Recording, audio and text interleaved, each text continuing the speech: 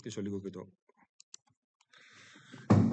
Και πριν μελετήσουμε λοιπόν αυτή την ακτινοβολία, θα μελετήσουμε πρώτα τα λεγόμενα καθυστερημένα δυναμικά. Δηλαδή είναι ο φορμαλισμός με τον οποίο θα μελετήσουμε πλέον χρονοεξαρτώμενα ε, συστήματα τα οποία εκπέμπουν εν γέννη ακτινοβολία. Τώρα, η βασική ιδέα πίσω από όλα αυτά είναι ότι για να μπορέσουμε να έχουμε ακτινοβολία, δηλαδή κάποιο είδους κύμα το οποίο εκπέμπεται και είναι χρονοεξαρτώμενο τέλος πάντων, πρέπει να έχουμε μια επιτάχυνση κάποιου φορτίου. Απαραίτητη προϋπόθεση λοιπόν για την ακτινοβολία είναι η επιτάχυνση ενός φορτίου. Έτσι λοιπόν και στο δίπολο στην πραγματικότητα έχουμε μια επιτάχυνση, γιατί αυτό κινούνται πέρα εδώ, θα κάνουν μια ημιτονοειδή κίνηση. Λοιπόν, αλλά πριν ξεκινήσουμε να δούμε ακριβώς τι είδους ακτινοβολία προκύπτει, θα ξεκινήσουμε με το να βρούμε σε ένα χρονοεξαρτώμενο πλέον σύστημα, δηλαδή κάπου που να έχουμε πηγές οι οποίες γενικές πηγές, τώρα δεν πάμε πρώτα καταρχήν στο δίπολο, θα πάμε σε γενικές πηγές, οι οποίες είναι χρονοεξαρτώμενες. Έτσι. Τι είδους παιδεία εμφανίζουν στην περιοχή τους. Μέχρι τώρα είχαμε μάθει στατικές πηγές. Αν μου πεις μια στατική πηγή, έτσι, μπορώ να σας πω από την εξίσωση που ασών, ξέρω εγώ, μάλιστα την εξίσωση της εξίσωσης ε, που ασών, β ίσον με το ρο, δι ε 0 και αντίστοιχα στη βαθμίδα, ε, ε, βαθμίδα κουλόμπ ίσον j μη 0 επί j λύναμε αυτά τα δύο, βρίσκαμε τα δυναμικά, αν θυμάστε, έτσι για στα στατικές πηγές και από τα δυναμικά βρίσκαμε τα πεδία. Αν σου έλεγα λοιπόν εδώ πέρα το ρο και το j, που είναι στατικά και ανεξάρτητα, τα βάζεις εσύ εδώ πέρα στην εξούση που ασώνουν ουσιαστικά για το βαθμωτό και το διασματικό δυναμικό, τι Έλληνε, ξέραμε και τις λύσεις και όλα αν θυμάστε. Είχαμε πει ότι το V ήταν 1 δια 4 πι ε0 ολοκλήρωμα ρο δια παυλίτσα ε, ταφ έτσι. Και το ολοκληρώνουμε παντού στο χώρο, σε όλο το χώρο που υπάρχουν πηγές. Και από εδώ τέλος πάντων ε, βρίσκαμε το δυναμικό και από το δυναμικό βρίσκαμε τα πεδία και ομοίως κάναμε και με το α. Αν θυμάστε βάζαμε αντί για ρο το J διάρ παυλίτσα και τέλος πάντων καταρχήν τουλάχιστον είχαμε μία μέθοδο για να βρούμε τα, το α και β για στατικά φορτία. Τώρα για στατικά, αυτή εδώ πέρα είναι η στατική εξίσωση, έτσι. Το ερώτημα λοιπόν τώρα τι γίνεται αν το ρο και το j εξαρτώνται από το χρόνο; Ισχύει αυτή η εξίσωση; Και αν όχι, ποια εξίσωση ισχύει; Τις έχουμε δει λίγο δει λίγος πολύ στα προηγούμενα μαθήματα, αλλά θα τις τονίσουμε λίγο περισσότερο σήμερα και θα δούμε ακριβώς και τη, για τη λύση τους κυρίως. Γιατί αν θυμάστε, είχαμε πει ότι το, σε χρονοεξαρτώμενα συστήματα, στη βαθμίδα Lorentz, όποιος διαβάζει καλά το θυμάται αυτό που το έχουμε πει σε προηγούμενο μάθημα, στη βαθμίδα Lorentz αυτή γίνεται μια σαν κυματική εξίσωση, παίρνει ένα d προς dt τετράγωνο, ένα διαμή 0 ε0, έτσι, ίσον με το, με το ρο, στη βαθμίδα Lorentz πάντα, έτσι. Και αυτή αντίστοιχα παίρνει ένα d προ dt τετράγωνο επί α. Ένα επιπλέον όρο κανονικά. Λοιπόν, για να τα θυμηθούμε λίγο αυτά λοιπόν σήμερα, θα πρέπει καταρχήν να δούμε πώς γενικεύονται πρώτα-πρώτα λοιπόν αυτές οι εξώσεις ε, που ασώνουν ουσιαστικά στην περίπτωση που έχουμε χρονοεξαρτώμενα συστήματα. Ε, θυμόμαστε λοιπόν ότι αν έχουμε χρονική εξάρτηση, το ηλεκτρικό πεδίο δίνεται από το δυναμικό, από το βαθμωτό δυναμικό, έτσι, μείον το dα dt. Μπαίνει μέσα δηλαδή και το διανυσματικό δυναμικό. Έτσι. Ε, το είχαμε δει αυτό έτσι, στην, από, τον, από τις εξώσεις του Maxwell ουσιαστικά. Και αντίστοιχα το B είναι ίσον με το στροβιλισμό του α. Προφανώς αυτός είναι η ίδια σχέση βεβαίως και προκύπτει από τη σχέση ότι η απόκληση του B είναι 0 και αυτό ισχύει το ίδιο σε χρονοεξαρτώμενα και χρονοανεξάρτητα. Όμως ε, στην περίπτωση του, Στην περίπτωση των χρονοεξαρτώμενων εξισώσεων Maxwell, έτσι θυμάστε είχαμε ότι ο στροβιλισμός του B, ο στροβιλισμός του στροβιλισμού του α ήταν μη 0 επί j, μείον μη 0 επί ε, dE dt, αν θυμάστε. Εδώ πέρα είχαμε το dE που το γράφουμε σαν την κλίση του, του V, έτσι. Και αντίστοιχα βάζουμε και αυτό εδώ πέρα τον όρο μέσα με το, με το α. Λοιπόν, επομένως λοιπόν αν βάλουμε αυτή εδώ πέρα την έκφραση για το ηλεκτρικό πεδίο στο νόμο του Αμπέρ, στο γενικευμένο νόμο του Αμπέρ, παίρνουμε αυτήν εδώ τη σχέση. Έτσι, εδώ πέρα θυμάστε είναι μη 0 ε0, μη 0 ε0, έτσι, επί dE dt έχει ο νόμος του Αμπέρ εδώ. Και όπου E βεβαίως εμείς βάζουμε αυτό εδώ πέρα το κομμάτι από τα δυναμικά. Και παίρνουμε έτσι λοιπόν αυτή εδώ πέρα τη σχέση που ουσιαστικά είναι ο νόμος του Αμπέρ εκπεφρασμένος στην αρτήση των δυναμικών. Στροβιλισμός του B ίσον μη 0 επί J έτσι, ε, μείον μη 0 ε, ε, συν μάλλον μη 0 ε0 DE DT. Και όπου E βάζουμε αυτή εδώ πέρα την έκφραση στην αρτήση των πεδίων και εκφράζουμε έτσι τον νόμο του Αμπέρ στην αρτήση των δυναμικών. Γιατί, γιατί τα κάνουμε όλα αυτά, γιατί θέλουμε να δούμε πώς γενικεύεται αυτή εδώ η εξίσωση που είχαμε εξίσωση ασών στην περίπτωση που έχουμε χρονοεξαρτώμενα συστήματα. Θα βρούμε δηλαδή τις αντίστοιχες σχέσεις που υπακούν τα δυναμικά όταν έχουμε χρονική εξάρτηση. Και τώρα φυσικά έχουμε βάλει νέους όρους στο, στο σημάδι και θέλουμε να δούμε αυτοί οι όροι πώς μας αλλάζουν εξίσωση ασών εδώ πέρα. Εκφράσαμε λοιπόν αυτή εδώ πέρα την εξίσωση αυτή των δυναμικών, είναι ένα πρώτο βήμα. Τώρα και τώρα κάνουμε το εξής. Πάμε στο στροβιλισμό του α και τον εκφράζουμε από, δι, από διανυσματική ταυτότητα ως κλίση της απόκλησης του α μείον την λαπλασιανή του α. Και είναι μια ταυτότητα που την έχουμε χρησιμοποιήσει πολλές φορές στο παρελθόν, αν θυμάστε, χωρίς κανένα πρόβλημα. Τώρα λοιπόν, αφού το κάνουμε αυτό, αρχίζουμε και γκρουπάρουμε λίγο τους όρους μας. Έτσι. Εδώ βλέπετε έχει ένα μη 0 ε0 τη δευτέρα α την τετράγωνο. Παίρνουμε αυτόν τον όρο εδώ πέρα που είναι η λαπλασιανή του α. Έτσι. Και τον, τους βάζουμε μαζί. Έχουμε τη, τη λαπλασιανή του α μείον μη 0 ε0 τη δευτέρα α dt τετράγωνο. Έτσι. Που αυτός ο όρος ουσιαστικά προκύπτει από αυτή εδώ πέρα την έκφραση που έχουμε εδώ με το μείον. Τον φέρνουμε τον όρο αυτόν ε, στο από εκεί μέλος με συν και πάει με το μείον ε, d δευτέρας ή d α τετράγωνο. Επίσης έχουμε τον όρο μείον την ε, κλίση της απόκλησης του α, εδώ πέρα τον όρο δηλαδή, τον οποίο το φέρνουμε και αυτό στο από εκεί μέρος και παίρνει ένα μείον. Έτσι. Συν, έτσι, το, το μείον έχει βγει εδώ κοινός παράγοντας και αυτό το μείον λοιπόν, επειδή ε, γίνεται συν εδώ και το μείον έχει βγει εδώ έξω από την παρένθεση, Άρα λοιπόν έχουμε συν μη 0ε0 dvdt που είναι αυτός ακριβώς εδώ ο όρος.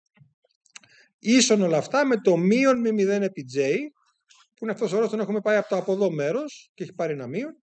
Και έτσι λοιπόν ουσιαστικά έχουμε γκρουπάρει κάπως τους όρους μας με αυτόν τον τρόπο. Και τώρα λοιπόν μπορείτε να δείτε κατευθείαν το εξής ενδιαφέρον φαινόμενο ότι ε, βέβαια στη βαθμίδα κουλόμπ, θυμάστε στη βαθμίδα κουλόμπ τι λέμε στη βαθμίδα κουλόμπ ότι η απόκληση του α είναι 0. Εδώ δεν μας βοηθάει και πολύ. Αν βάλουμε απόκληση του α, τη βάλουμε 0, πάμε πάλι στη βαθμίδα του Κουλόμπ, δεν απλοποιείται και πολύ η εξίσωση. Στα χρονοεξαρτώμενα συστήματα μας συμφέρει να διαλέξουμε τη λεγόμενη βαθμίδα Lorentz, στην οποία ισχύει ότι η απόκληση του α είναι ίση με μείον ένα διαστέ τετράγωνο dvdt. Γιατί; Γιατί τότε αυτός ο όρος εδώ πέρα που είναι στην παρένθεση, που είναι αυτός εδώ ο όρος και αυτός εδώ ο όρος, αυτό το άθροισμα αυτών των δύο όρων μηδενίζεται. Και έτσι λοιπόν στο χρονεξαρτώμενο σύστημα, επειδή κουβαλάμε ακριβώς και αυτόν εδώ τον όρο που λέει dv προς dt και θέλουμε και αυτό να τον, αν γίνεται, να τον εξαφανίσουμε, μας συμφέρει να πάμε στη βαθμίδα Lorentz. Έτσι ξέρετε, πάντα με το βαθμίδισμα, να επιλέξουμε τι βαθμίδα θέλουμε για το διανυματικό μας δυναμικό. Και επομένως λοιπόν, στα πλαίσια αυτής της βαθμίδας Lorentz, απλοποιείται αυτή η σχέση, φεύγει όλο αυτή η παρένθεση, φεύγει και μας μένει ο γνωστός μας όρος που ασών ε, που λέει λαπλασιανή του α εδώ μέσα, ίσον μη 0 επί j, αλλά κουβαλάμε επίσης και μία δεύτερη παράγω χρονική του διανυσματικού δυναμικού. Δηλαδή γίνεται μία, αν θέλετε, σαν κυματική εξίσωση, αλλά με πηγές εδώ, μη 0 επί j, για το διανυσματικό δυναμικό. Αυτό είναι πάρα πολύ ενδιαφέρον γιατί μας γενικεύει κατευθείαν την εξίσωσή μας και τώρα καλούμαστε λοιπόν να λύσουμε μια διαφορετική εξουσία από την εξουσία ε, Πουασόν και το ερώτημα λοιπόν είναι κατά πόσον αυτή η λύση εδώ πέρα θυμάστε που είχαμε βρει για το η γνωστή μαζί για την λύση Πουασόν που εδώ πέρα βάζουμε J κανονικά βέβαια θυμάστε δια R άμα θέλουμε να βάλουμε εδώ το Α εδώ βάζουμε J διάνυσμα, μείον μη 0 κλπ. Κατά πόσον αυτή η εξίσωση λοιπόν ισχύει και σε αυτή την περίπτωση. Προφανώς δεν ισχύει γιατί είναι άλλη εξίσωση, έτσι ισχύει κάτι άλλο και πόσο πιο περίπλοκη θα είναι αυτή τέλος πάντων έστω η φορμαλιστική λύση. θα ρωτήσει ένας. Άρα έχουμε λοιπόν να λύσουμε αυτή εδώ πέρα την εξίσωση, να βρούμε μια φορμαλιστική λύση αντίστοιχη με αυτή που είχαμε το ολοκλήρωμα ρο δια αρ παυλίτσα.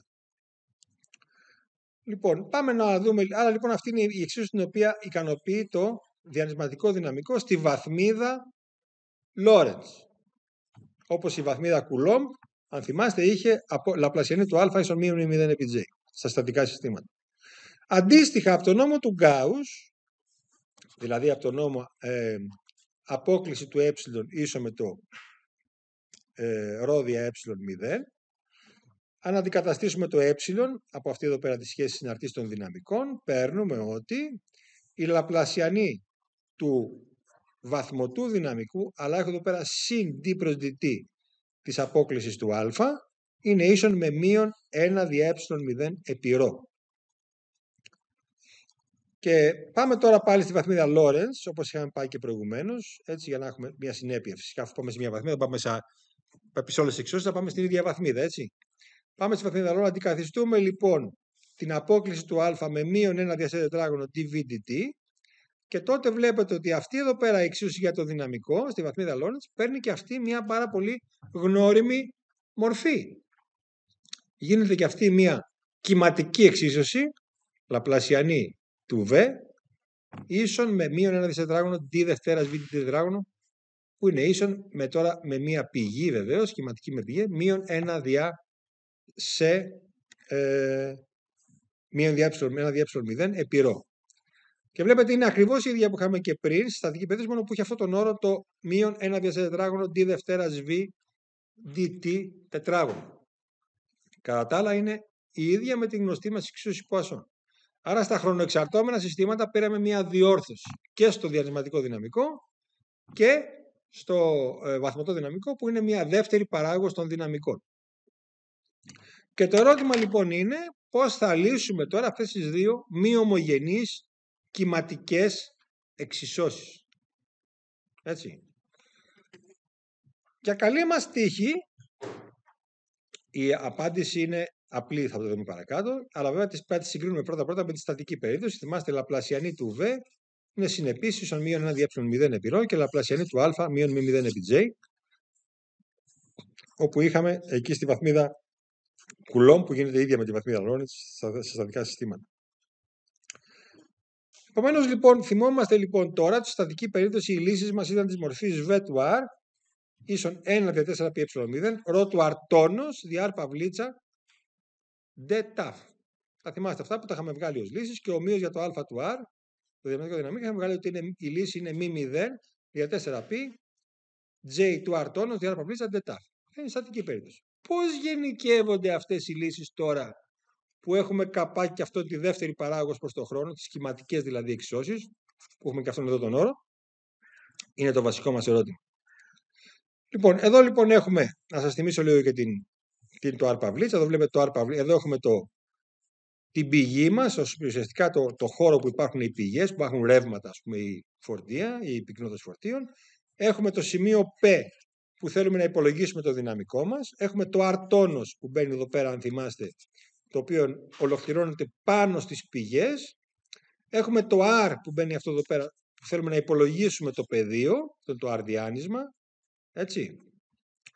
Και έχουμε εδώ πέρα το σημείο P. Στο στατικό λοιπόν κομμάτι είχαμε αυτό εδώ πέρα. Τώρα που έχουμε στο το χρονοεξαρτώμενο, τι περιμένουμε φυσικά να αλλάξει; Αυτό που περιμένουμε να αλλάξει είναι ότι επειδή ε, τίποτα δεν κινείται πιο γρήγορα από το φως στην ηλεκτροδυναμική, περιμένουμε οτιδήποτε αλλαγή γίνει εδώ μέσα. Πες ότι κινείται εδώ ένα φορτίο, πάει από εδώ, εδώ επιταχυνόμενα, έτσι, με κάποιο τρόπο τέλος πάντων. Γίνεται μια αλλαγή εδώ μέσα.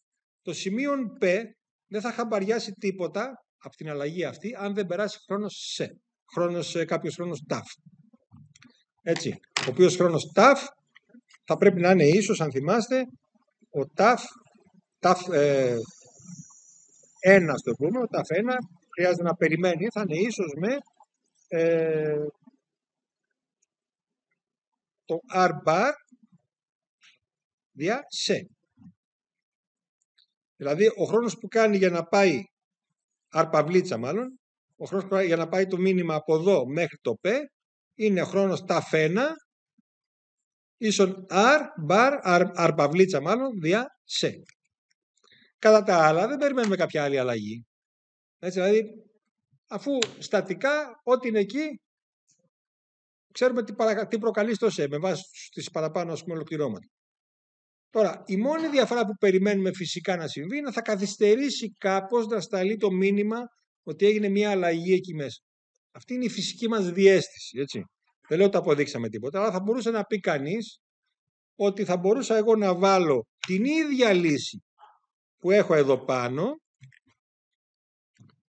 να βάλω που ρο του αρτόνος, να βάλω το ρο του αρτόνος, κόμμα ταφ, και να πάρω την ίδια ακριβώς. Να τη γενικεύσω έτσι πολύ απλοϊκά αυτή τη σχέση. Να μαντέψω τη λύση. Δηλαδή να βάλω το v του r, t θα είναι το ίδιο με αυτό το ολοκλήρωμα μόνο που θα έχει, θα έχει εδώ πέρα v του r, t. Αφού είναι εδώ πέρα v του r, t να βάλω εδώ πέρα t. Κατευθείαν με το χέρι. Τι λάθος θα κάνω αν το κάνω αυτό το απλοϊκό την πρώτη μου προσέγγιση; Ότι δεν θα λάβω υπόψη μου ότι το t αυτού εδώ πέρα ό,τι γίνεται εδώ πέρα σε τ, αυτό γίνεται σε τ μείον, καθυστερεί δηλαδή να φτάσει, ε, μείον ταφ 1. Έτσι. Το ταφ τόνος, δηλαδή το ταφ εδώ πέρα αυτό, πρέπει είναι διαφορετικό από το ταφ που λόγω αυτής της καθυστέρησης.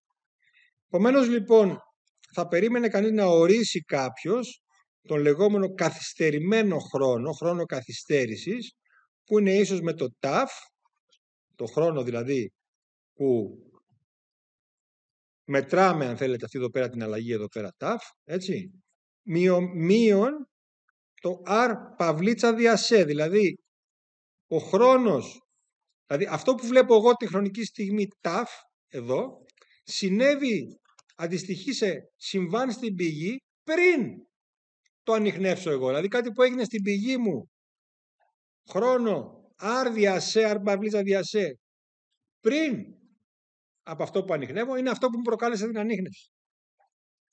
Άρα λοιπόν θα περίμενε κανείς διαισθητικά να ισχύει η ίδια σχέση με την προϋπόθεση όμως που θα βάλω εδώ πέρα εδώ το ταφ κάπα στην πηγή μου, δηλαδή ένα προωθήστερο χρόνο που συνέβη η αλλαγή η οποία προκάλεσε την ανείχνευση που είδα εγώ μετά από χρόνο τα αφένα.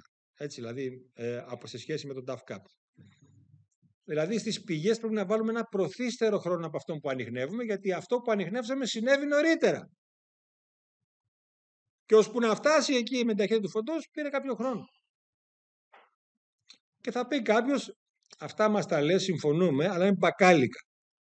Εντάξει, αυτό περιμένουμε φυσικά να συμβεί.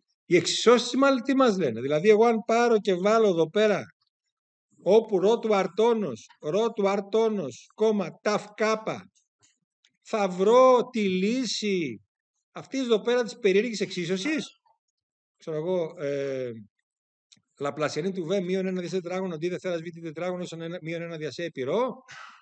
Είναι δυνατόν ποτέ; Με τόσο απλοϊκό πράγμα μέσα από τη φυσική διέστηση να πάω και να, να βγάλω μία λίστα τόσο περίπλοκη εξίσωση που να απλώς βάζω στο τάφο ταυκάπα.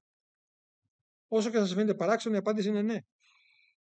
Αυτή η φυσική απλή διέστηση που μας περίμενε, που μας οδήγησε στο να αλλάξουμε λίγο τη στατική λύση και να βγάλουμε κάτι το οποίο θα περίμενε κανείς να είναι μια καλή, ένα καλό μάθημα, να υπάρχουν και, άλλα και πολλοί άλλοι λόγοι να, α, να χρειάζεται να αλλάξουμε τη λύση μας, η απάντηση είναι αρκεί μόνο αυτό.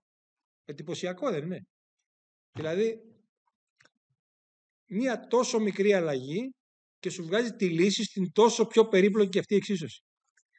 Πας λοιπόν εδώ εσύ και αυτό που μαντέψαμε εμείς τώρα είναι πραγματικά η λύση. Θα το αποδείξουμε, το αποδείξαμε ακόμα βέβαια. Αλλά αυτή είναι η λύση που περιμένουμε διαισθητικά, δηλαδή v του r, t, 1 δια 4 ε0, ρο του r τόνος, κόμμα ταυκάπα δι r παυλίτσα, επί d ταφ, d ταυτόνος στην πραγματικότητα είναι έτσι, γιατί ολοκληρώνουμε στο, στο r τόνος, πάνω στις πηγές, και α του r, t, μη 0 δια 4 π, j του r τόνος, κόμμα ταφ κάπα, ταφ κάπα είναι αυτό εδώ πέρα, δι r παυλίτσα, επί d ταφ. Μια τόσο μικρή αλλαγίτσα, βέβαια θα μου πεις μικρή, έχει μέσα ε, φαίνεται μικρή, αλλά δεν είναι και τόσο μικρή, γιατί μέσα στο ταυκάπα, έτσι, μέσα στο ταυκάπα υπάρχει το αρπαυλίτσα μέσα, έτσι, δηλαδή υπάρχει, εδώ μέσα μπαίνει το αρπαυλίτσα. Μπαίνει και το άρ δηλαδή μέσα και λοιπά, δηλαδή δεν είναι τόσο πολύ ας πούμε. Φαίνεται απλοϊκή φυσικά, αλλά στην πράξη έχει λίγο δουλίτσα το πράγμα για να το επαληθεύσουμε ότι όντως είναι λύση, έτσι. Αλλά είναι εντυπωσιακό που αυτή η φυσική διέστηση μας οδήγησε πραγματικά στη λύση. Λοιπόν, τώρα ε, το, άρα λοιπόν αυτό είναι το λεγόμενο, αυτά λέγονται καθυστερημένα δυναμικά, έτσι, γιατί είναι δυναμικά στα οποία μπαίνει μέσα εδώ στις πηγές ο χρόνος, ο καθυστερημένος χρόνος, δηλαδή ο προθύστερος χρόνος που προηγήθηκε του χρόνου που κάναμε εμείς την ανείχνευση στο σημείο R, γιατί εκεί γίνανε οι πραγματικέ αλλαγές στις πηγές που αντιστοιχούν σε αυτά που βλέπουμε τώρα εμείς. Αυτά λοιπόν λέγονται καθυστερημένα δυναμικά. Έτσι. Και αυτή λέγεται καθυστερημένη χρόνη, το ταυκάπα. Λοιπόν, και το ερώτημα λοιπόν, όπως είπα και προηγουμένως, είναι το εξής. Αυτό που μαντέψαμε λοιπόν, ικανοποιούνται οι εξώσεις Maxwell, δηλαδή αυτές με τον D δευτέρα και τετράγωνο, για αυτά τα καθυστερημένα δυναμικά; Είναι το ερώτημα. Και η απάντηση προφανώς, έτσι, είναι ναι. Τώρα εδώ πέρα θέλει μια άλλη παρατήρηση να κάνουμε. Δεν ισχύει το ίδιο για τα παιδεία. Δεν είμαστε, δηλαδή ήμασταν τυχεροί πολύ με τα δυναμικά, βρήκαμε τη λύση, θα αποδείξουμε ότι βρήκαμε τη λύση με ένα τόσο πολύ απλό τρόπο.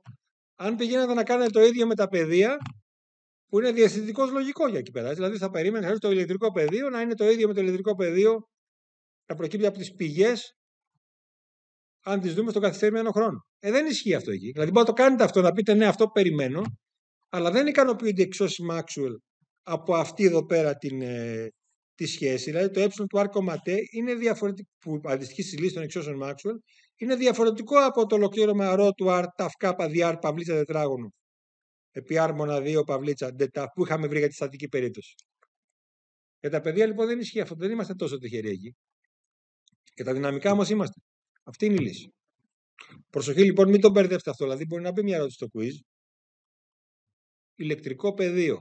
Καθυστερημένος χρόνος. Αυτή είναι η λύση των εξώσεων Maxwell. Όχι. Ο μόνος τρόπος να βρεις εξώσει Maxwell, τη λύση των εξώσεων Maxwell για τα ηλεκτρικά πεδία, να βρεις τα δυναμικά πρώτα με τα καθυστερημένα δυναμικά και μετά να πας από τις σχέσεις που συνδέουν τα πεδία με τα δυναμικά και να πας και να βρεις τα ηλεκτρικά πεδία. Δηλαδή, αφού βρεις αυτά εδώ πέρα με την ολοκλήρωση εδώ πέρα με το ΤΑΦΚΑΠΑ, μετά πας εδώ στη σχέση που συνδέει τα ηλεκτρικά πεδία με τα, τα πεδία με τα δυναμικά, που είναι αυτή εδώ πέρα η σχέση, ηλεκτρικό πεδίο και μαγνητικό πεδίο συναρτήσει των δυναμικών, και βρίσκεις κατόπιν τα πεδία. Δεν πας κατευθείαν και να βρεις τα καθ... Δεν υπάρχουν καθυστερημένα πεδία. Είναι λάθος. Υπάρχουν καθυστερημένα δυναμικά. Τελεία. Άρα ο τρόπος να βρούμε τα πεδία είναι συγκεκριμένος. Βρίσκουμε τα καθυστερημένα δυναμικά και μετά πάμε στα πεδία για να τα βρούμε με, με βάση τις ε, σχέσεις που τους συνδέουν δυναμικά με πεδία. Και τώρα λοιπόν πάμε να επαληθεύσουμε την εξίσωση 4. Έτσι, να επαληθεύσουμε δηλαδή την, ε, το, το ότι πραγματικά αυτό αποτελεί μία λύση των εξισώσεων ε, που είναι η 4 να τη δω. Θα αποδείξουμε λοιπόν τώρα ότι αυτή η κυματική εξίσωση με πηγές ικανοποιείται, επαληθεύεται από το απλό μάντεμα που κάναμε μέσω των ε, καθυστερημένων, ε, μέσω αυτής της απλής αλλαγής που έκανα στην, ε, στην έκφραση. Θα πάω λοιπόν απλώς και θα αντικαταστήσω εδώ πέρα στο όπου β, θα βάλω το ολοκλήρωμα, αλλά με, αντί για ταφ θα βάλω ταφ κάπα. Πάω λοιπόν να δω εδώ την σχέση και για να μπορέσω να κάνω αυτό πρέπει να υπολογίσω πρώτα απ' όλα τη λαπλασιανή του V, έτσι πάντα τη βρω. Θα βρω την, ε, τον D δευτέρα D τετράγωνο του V και λοιπά και θα πάω να τα βάλω εδώ μέσα για να βάλω να δω αν πραγματικά επαληθεύεται, έτσι. Και το πρώτο βήμα που θα κάνω φυσικά θα πρέπει να βρω την, ε, την κλίση του V, να βρω μετά την κλίση της κλίσης κλπ. Η κλίση του V λοιπόν του R, T είναι το D προς DR έτσι, είχαμε πει ότι η κλίση μεταφράζει σαν D προς DR, V του R, διάνυσμα κόμμα T. Λοιπόν, εγώ τώρα εδώ πέρα στην απόδειξη έχει λίγο πράξη. Δεν θα τη ζητήσω αυτές τις εξετάσεις φυσικά. Έτσι. Δεν θα ζητήσω να μου πείτε ποτέ την απόδειξη αυτή. Γι' αυτό και θα, εδώ είναι όλες οι πράξεις πάρα πολύ αναλυτικά σε αυτές τις σημειώσεις. Όποιος θέλει να τις δει με λεπτομέρεια μπορεί να τις δει. Αλλά τώρα εδώ, για να μην σας πήξω ας πούμε στις πράξεις, θα πάω λίγο γρήγορα ή μπορεί να παραλείψω κάποια βήματα, αλλά όποιος ενδιαφέρεται, που θέλει να προχωρήσει στη φυσική περαιτέρω, μπορεί να κάτσει να δει τις πράξεις αναλυτικά και με λεπτομέρεια, γιατί είναι πάρα πολύ αναλυτικά γραμμένες εδώ. Αλλά εγώ θα πάω λίγο πιο γρήγορα, όχι γιατί δεν έχουμε χρόνο ή οτιδήποτε άλλο, αλλά γιατί δεν θέλω να σας ε, ζαλίσω το μυαλό με λεπτομερείς ε, πράξεις, οι οποίες δεν έχουν και τόσο μεγάλη σημασία, ούτε θα τις συζητήσω εγώ στις, ε, στα quiz. Θα τις δούμε όμως, θα δούμε λίγο τη βασική τους ιδέα, πώς προχωράμε. Έτσι. Λοιπόν, η κλίση λοιπόν του V είναι αυτή εδώ πέρα, είναι D προς DR V του R, T. Και πάω τώρα και βάζω όπου V του R, T, την υποψήφια λύση τέλος πάντων, που είναι το 1 δια 4 πι ε0, d ε, ε, ρο, ε, d προς dr, του ρο, r τόνος, ταφ, κόμμα, ταφ κάπε. Και θα πει κανείς, στη στατική περίπτωση γι' αυτό το βάζαμε 0. Έτσι δεν είναι, γιατί ξέραμε ότι υπάρχει το r τόνος. Το r τόνος δεν έχει μέσα το r.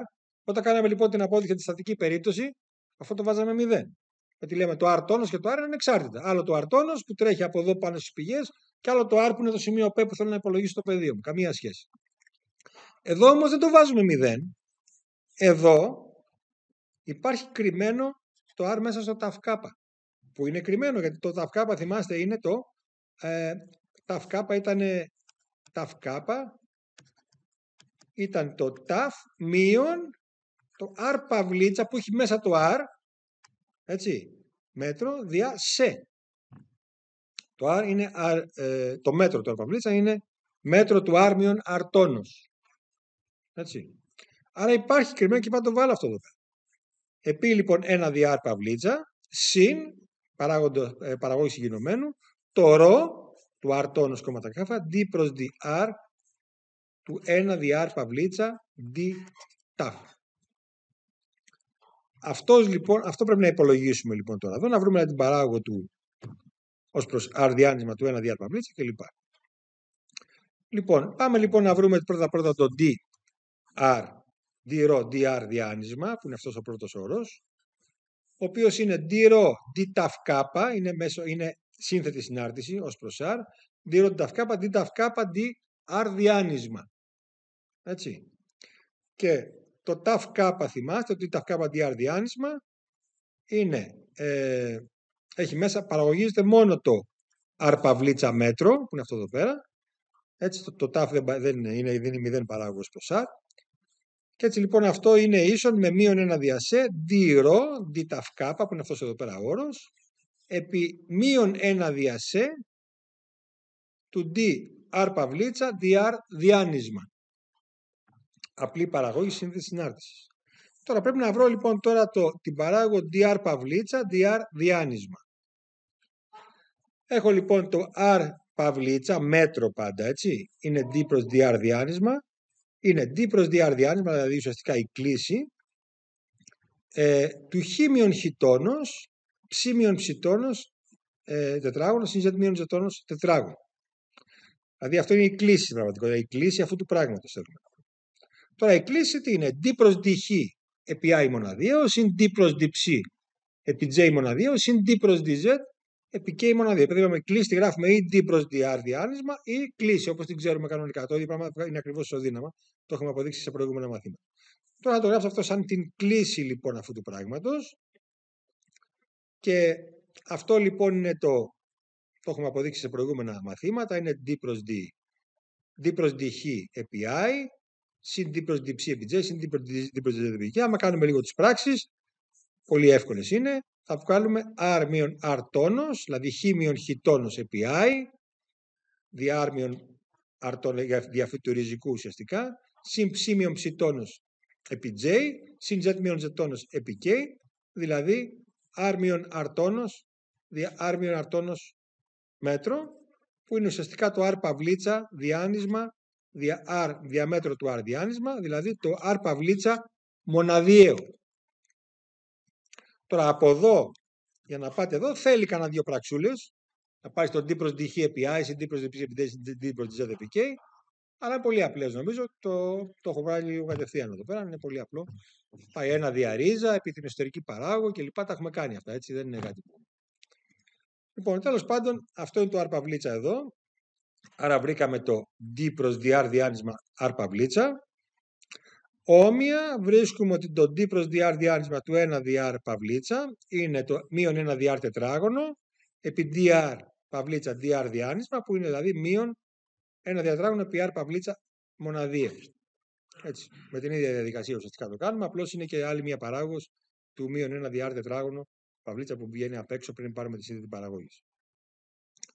Λοιπόν, αυτή λοιπόν είναι η και η άλλη σχέση. Τα βάζουμε λοιπόν όλα αυτά μέσα στη σχέση που είχαμε εδώ πέρα την αρχική, με το dv ε, κλίση του v και έχουμε τελικά ότι το dv δηλαδή η κλίση του v είναι 1 δια 0 μείον 1 δια σε d ρόντι ταφ κάπα επί r παυλίτσα μοναδίο δι r παυλίτσα μείον ρο r παυλίτσα μοναδίο δι r παυλίτσα τετράγωνο d ταφ.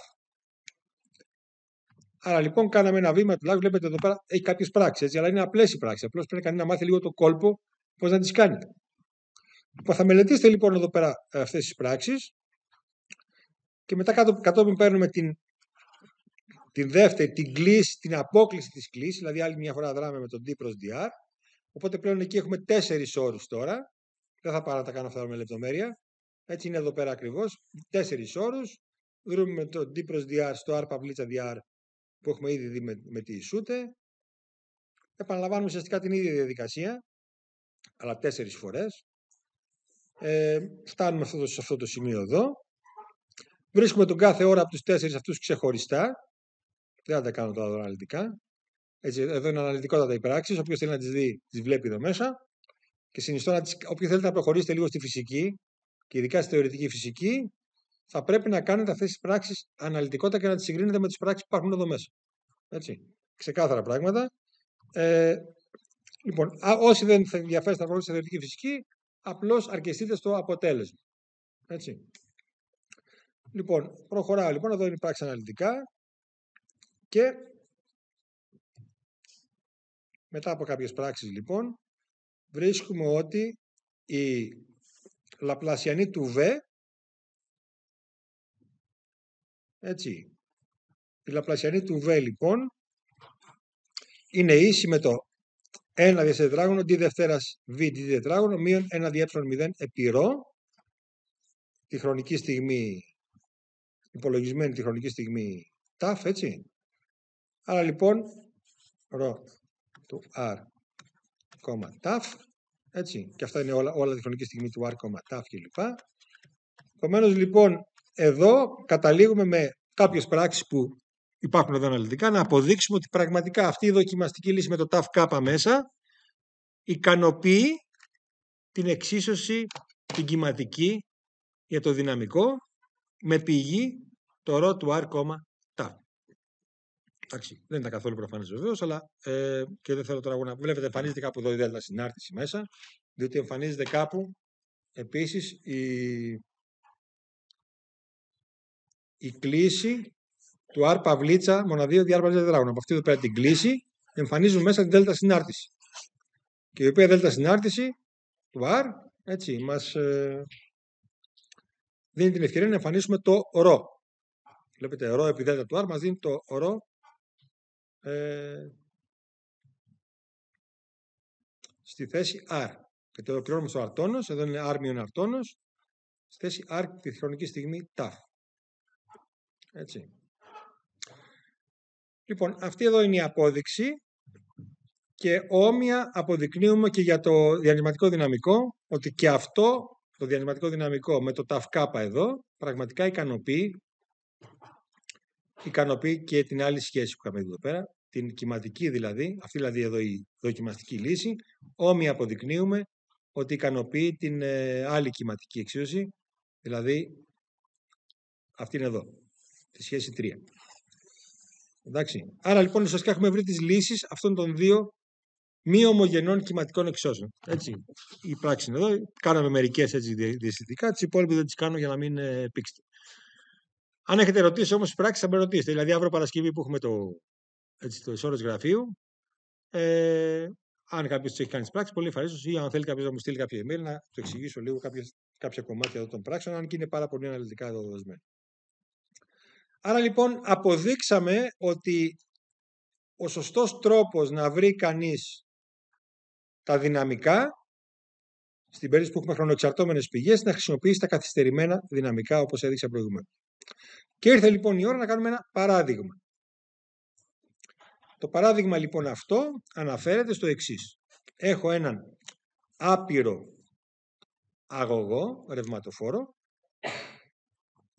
ο οποίος έχει ένα χρόνο εξαρτώμενο ρεύμα, δηλαδή η πηγή μου τώρα πια είναι χρόνο εξαρτώμενη και η χρονική εξάρτηση είναι τέτοια ώστε τη χρονική στιγμή ταφ μικρότερο του μηδενός ή ίσο του μηδενός να είναι μηδέν το ρεύμα και ξαφνικά εντάξει, ξαφνικά από όλον αυτό το ρευματοφόρο αγωγό περνάει κάποιο ρεύμα το οποίο είναι ρεύμα Ι0. Τώρα αυτή την εξειδανικευμένη περίπτωση κατά την οποία ξαφνικά εμφανίζεται και ένα ρεύμα. Έχετε ένα αγωγό και ξαφνικά τον ανάβετε. Ένας άλλος κύριος είναι εδώ σε μια απόσταση R από τον αγωγό, στο σημείο P και έχει ένα μετρητή και μετράει ηλεκτρικό και μαγνητικό πεδίο. Εντάξει. Το ερώτημα λοιπόν που θέλουμε να απευθύνουμε είναι το εξής. Αυτός ο κύριος που θα μετρήσει το ηλεκτρικό και το μαγνητικό πεδίο, τι θα μετρήσει ως παιδεία συναρτήσει του χρόνου; Έτσι. Φυσικά, όπως είπαμε και προηγουμένως, δεν πρόκειται μόλις ανάψω εγώ το πεδίο, την τάφισω με το μηδέν, δεν θα μετρήσει αυτός κατευθείαν πεδίο και θα πάει να περιμένει λίγο. Μέχρι να φτάσει το μήνυμα εκεί ότι ανάψαμε το ρεύμα, ανάψαμε το διακόπτη. Και το ερώτημα λοιπόν είναι πόσο πρέπει να περιμένει; Έτσι, γιατί είπαμε το ταφ δεν μπαίνει κατευθείαν στο ε του r, το ε του r δεν είναι ίσον με το ε του r, ε, να βάλουμε κατευθείαν στις πηγές του ταφ πρέπει να το βρούμε τα δυναμικά πρώτα, έτσι. Λοιπόν, ποιο είναι το ε λοιπόν του r, και το b του r, Πάμε να δούμε λοιπόν τη λύση αυτού του προβλήματος. Όταν το ρο είναι 0 λοιπόν, έτσι προφανώς και το v είναι 0 στην περίπτωση αυτή, γιατί δεν έχουμε καθόλου ρο εδώ σε όλη τη διαδικασία, δεν υπάρχει πουθενά πυκνότητα φορτίου. Άρα λοιπόν το V έτσι, είναι 0. Αφού ήταν, το θεωρούμε ως 0 αρχικά, το βάζουμε με μια, στη, επιλέγουμε τη βαθμίδα που είναι 0 και παραμένει 0 φυσικά. Βάζαμε και μια σταθερά. Το, βάλουμε, έτσι. το διανυσματικό δυναμικό όμως, αλφαδιάνισμα του R, θα προκύψει από τον τύπο των καθυστερημένων δυναμικών. Δηλαδή τι θα κάνω, θα πάρω και θα βάλω εδώ πέρα, θυμάστε εδώ πέρα έχει ένα J, έτσι, J, DETAF, διάρ παυλίτσα, J του R, τόνος, κόμμα ταφ κάπα, έλεγε εδώ πέρα. Λοιπόν, εδώ τώρα αντί για J πρέπει να βάλω, το J τι είναι, το, το J τι είναι, είναι ίσο με το J επί dα. Βάζω λοιπόν αυτό το τετάφτος, πάω σε δύο κομμάτια, ε, βάζω ένα dα πρώτα, dα, επί dl, όπου dl είναι κατά μήκος του αγωγού. Στην περίπτωση μας το dl είναι dz, dz τόνος, έτσι, γιατί μιλάμε για τονούμενες. Και dα τόνος είναι η κάθετη διατομή στον αγωγό. Το j τώρα με το dα θα μου δώσει το ι. Έτσι, την, ε, το ρεύμα πάνω στον αγωγό. Είναι J επί dα. Είναι φορτίο ένα μονάδα χρόνου ουσιαστικά. Και επομένως το d ταυτόνος που είχα εγώ εδώ στο J, αυτό που θα μείνει τελικά είναι το dz τόνος. Το dl δηλαδή κατά μήκος του αγωγού. Γιατί το σπάσα σε δύο κομμάτια, το dα τόνος, dz τόνος ή dl τόνος. Το dα με το j μου δώσε το ι, το ρεύμα, και μου έμεινε να ολοκληρώσω στο dz τόνος ως κατάλοιπο αν θέλετε του δίτα αυτόνος. Κατά τα άλλα είναι το ίδιο. Και επειδή εδώ πέρα ολοκληρώνω κατά μήκος του DL ε, διανύσματος, έτσι το DL εδώ πέρα έχει για το διανύσματος, μπαίνει και ένα κάπα μοναδιαίο, έτσι, διότι το J, αν θέλετε το, τη διεύθυνση του J, του διανύσματος J που κανονικά θα πρέπει να μπει εδώ, είναι παντού στη διεύθυνση K. Έτσι, διεύθυνση δηλαδή του Z, του άξονα το Z. Εδώ παίρνω τη διεύθυνση τον άξονα Z, είναι προς τα εδώ άξονα Z, Άρα το K μοναδίο είναι προς τα εδώ. Στη διεύθυνση λοιπόν του J. Αυτό δεν λέει ο τύπος μέσα. Θα πάρεις λίγα, θα βάλεις το J εδώ πάνω. Θυμάστε. Πού ήτανε. Θα πας εδώ λέει και θα βάλεις το J. Το J το δικό μας τι είναι; Στο K. Μοναδίο. Θα σπάσεις βέβαια αυτό το διταυτόνο σε dα επί dl, έτσι. Θα βάλεις με το dα, δεν ξέρω εδώ πέρα, στο, θα σπάσεις το διταυτόνο εδώ πέρα, σε dα επί dl, έτσι, το σπάσεις. Το dα σου με το j θα σου φτιάξει ένα ι, το dl σου θα γίνει dz, dz τόνος, γιατί είναι πάνω στον άξονα. Άρα ουσιαστικά είναι αυτός εδώ ο τύπος για να βρούμε το α. Αλλά αντί για J έχουμε το Ι που βγαίνει από την, από την ολοκλήρωση στην κάθετη διατομή. Αυτός λοιπόν είναι ο σωστός τύπος να χρησιμοποιήσουμε και το χρησιμοποιούμε και πρέπει τώρα να υπολογίσουμε αυτό το ολοκλήρωμα. Λέει από μείον άπειρο μέχρι άπειρο θα ολοκληρώσει το ζετόνος. Έτσι. Εδώ όμως λέει ταφ κάπα. Προσοχή. Εδώ μέσα είναι το γιώτα του ταφ καθυστερημένου χρόνου. Όταν λοιπόν, ποια είναι η έννοια του ταφ κάπα, όταν το ταφ μας είναι μικρότερο από το άρπα βλίτσα διασέ, δεν έχει υπάρξει αρκετός χρόνος, δεν έχει λάβει καμία ειδοποίηση από το συγκεκριμένο άρπα βλίτσα ειδοποίηση, δεν έχει φτάσει κανένα σήμα. Εδώ, εδώ, εδώ έχουμε κάποιο αρτόνος εδώ πέρα, έτσι. Αυτό είναι το άρπα βλίτσα που μας συνδέει το αρτόνος με το σημείο Π. Όταν λοιπόν το άρπα βλίτσα διασέ το αρπαβλίτσα διασέ είναι μικρότερο, είναι, είναι, είναι μεγαλύτερο μάλλον από το, από το χρόνο ταφ, δεν έχει φτάσει ακόμα κανένα σήμα όταν το τάφ είναι μικρότερο από το αρπαβλίτσα διασέ. Πρέπει να περιμένουμε το τάφ μας να γίνει μεγαλύτερο από το αρπαβλίτσα διασέ για να λάβουμε σήμα εμείς στο σημείο Π, από το συγκεκριμένο σημείο αρτόνος. Έτσι. Άρα τα διάφορα αρτόνος δεν μπαίνουν στο παιχνίδι την ίδια στιγμή αυτό το αρτόνο που υπάρχει εδώ πέρα, στο αρτόνο, στο ζετόνο ουσιαστικά, ολοκληρώμαι, δεν μπαίνουν όλα τα ζετόνα στο παιχνίδι την ίδια στιγμή. Έτσι, για κάθε χρονική στιγμή ταφ μπαίνεις στο παιχνίδι ένα συγκεκριμένο αρτόνο, ένα ζετόνο στην πραγματικότητα. Ποιο ζετόνο μπαίνει στο παιχνίδι, εκείνο το ζε, εκείνα, αντίθετα εκείνα τα, τα δηλαδή τα αρπαβλίτσα, για τα οποία το αρπαβλίτσα διασέ είναι, είναι μικρότερο από το ταφ, δηλαδή έχει περάσει αρκετός χρόνος για να φτάσει το μήνυμα, πραγματικά εκεί έχουμε σήμα. Άρα λοιπόν εδώ πρέπει να ολοκληρώσουμε όχι σε όλα τα ζετόνος από το άπειρο, το μήνα άπειρο μέχρι το συνάπειρο, αλλά μόνο σε εκείνα τα ζετόνος που τη χρονική στιγμή ταφ, που μας ενδιαφέρει εδώ να βρούμε το δυναμικό αυτή την ταφ, έχει υπάρξει αρκετός χρόνος για να ληφθεί το σήμα ε, στο σημείο P που θέλουμε να υπολογίσουμε, στο σημείο R εδώ πέρα, που θέλουμε να υπολογίσουμε το διασματικό δυναμικό μας. Άρα λοιπόν εδώ στο ολοκλήρωμα για να περιλάβω μόνο εκείνα τα ζετόνος, θα πρέπει να ολοκληρώσω από πού; Από μείον ρίζα σε τετόνος μείον r τετράγωνο, ουσιαστικά δηλαδή είναι εκείνα τα z τόνος που αντιστοιχούν εδώ πέρα σε αυτό το ορθογώνιο τρίγωνο, βλέπετε εδώ πέρα, αυτό είναι το z τόνος, αυτό είναι το r. r παυλίτσα, δηλαδή θέλουμε, να είναι, θέλουμε το r παυλίτσα να είναι, r παυλίτσα διασέ να είναι μικρότερο από το t, Δηλαδή θέλουμε ουσιαστικά το αρπαβλίτσα από εδώ πέρα είναι τι είναι το αρπαβλίτσα. Έτσι είναι το ε, ρίζα. Πρέπει να ισχύει εδώ η σχέση ότι το κρίσιμο μάλλον ζετόνος είναι εκείνο για το οποίο ισχύει ότι το τε είναι ίσον αρπαβλίτσα δια σε. Έτσι. Όπου το αρπαβλίτσα είναι το, το, α, το, το αρπαβλίτσα είναι αυτό που είναι το ορθογώνιο τρίγωνο. Δηλαδή το αρπαβλίτσα είναι ρίζα του αρτόνος τετράγωνο ε, συν r τετράγωνο. Άρα λοιπόν να λύσω εδώ πέρα ως προς το r τόνος, το z τόνος δηλαδή στην πραγματικότητα, θα έχω το z τόνος εκείνο το κρίσιμο να είναι σε τετράγωνο μείον r τετράγωνο. Έτσι. Άρα λοιπόν από μείον σε τετράγωνο μείον r τετράγωνο μέχρι συν σε τετράγωνο μείον r τετράγωνο. Το z τόνος λοιπόν το κρίσιμο βρίσκεται από τη σχέση ότι ε, r παυλίτσα είναι ίσον με το σε επί τε, από που συνεπάγεται, τετραγωνίζω και τα δύο μέρη, αρπαυλίτσα τετράγωνο, ίσον σε, σε δευτέρας τε τετράγωνο, από εδώ συνεπάγεται ότι το είναι ε, z τόνος τετράγωνο, από αυτό το ορθογώνιο τρίγωνο εδώ πάνω, έτσι, γιατί το άλλο τετράγωνο είναι z τόνος τετράγωνο, συν r τετράγωνο,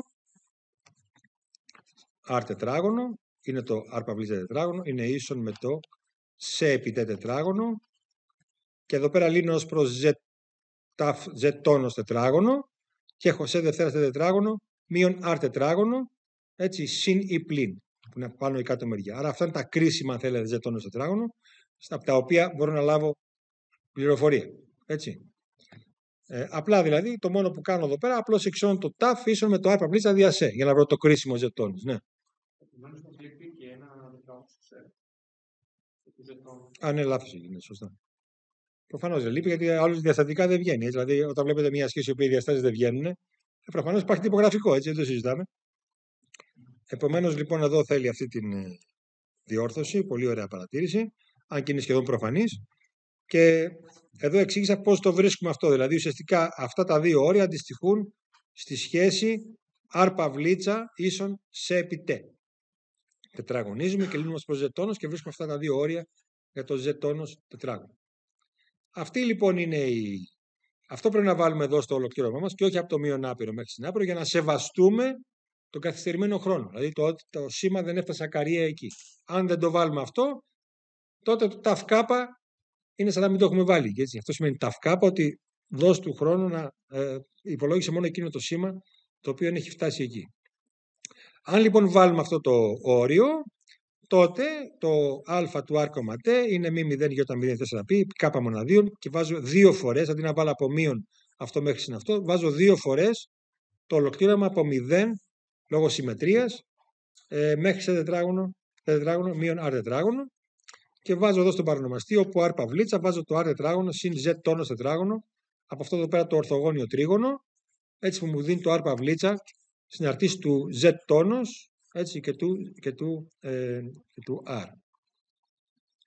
Αυτό λοιπόν τώρα το ολοκλήρωμα μπορεί να το υπολογίσει κανείς εντάξει, είτε αναλυτικά είτε να το πάρει από κάποιους πίνακες ολοκληρωμάτων. Και το αποτέλεσμα είναι αυτός εδώ λογάριθμος.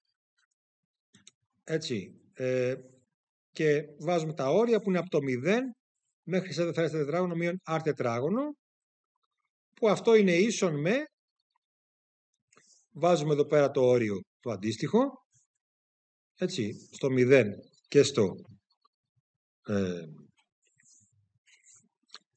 και στο z με το 0, βλέπετε εκεί παίρνουμε ένα r ουσιαστικά γίνεται ρίζα τώρα που είναι ένα r που μπαίνει εδώ στο παρονομαστή και την διαφορά λογαρίθμων είναι ίσο με το, με το λογάριθμο του λόγου των δύο ιδιότητα λογαρίθμων έτσι, και βρίσκουμε αυτή εδώ πέρα τη σχέση και κατόπιν πάμε και βρίσκουμε το ηλεκτρικό πεδίο παραγωγίζοντα εδώ πέρα ως προς τον χρόνο. Γιατί θυμάστε εδώ πέρα το δυναμικό είναι 0, έτσι. Άρα λοιπόν δεν θα μπει εδώ πέρα όρος δυναμικού, θα μπει μόνο ο όρος μείον dα dt, το οποίο υπολογίσαμε, και μετά από πολύ λίγες πράξεις, από την παραγώγηση ως προς τι αυτής της παράστασης βρίσκεται αυτή εδώ πέρα την έκφραση για το ηλεκτρικό πεδίο, που βλέπετε είναι στην διεύθυνση K μοναδιαίου.